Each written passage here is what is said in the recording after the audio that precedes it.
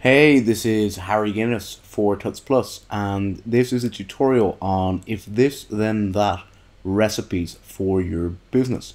You can see 15 recommended recipes in the written tutorial. In this quick screencast, I'm just going to take you through the process of setting up one of the recipes. The one I'm going to use is this when a specific hashtag is used on Twitter, add the tweet to a Google spreadsheet. Now, I don't have my Google Drive channel set up, but I do have my Twitter channel set up. So whenever you're setting up a new if this then that action, you're going to need to make sure that your channels are connected. So I'm going to click connect and then I will need to sign in or select my Google account. That will do. Click allow and that will connect. Once the channel is connected, click done and then I can set up what I want this uh, recipe to search Twitter for.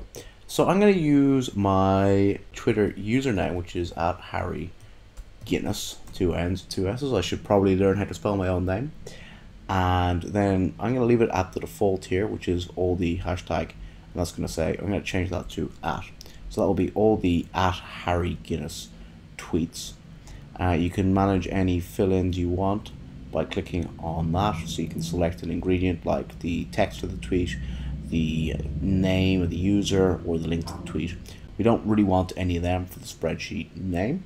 If you want to be notified when it runs, you can click that little box. Otherwise, just click add and that recipe will be added to your if this then that account.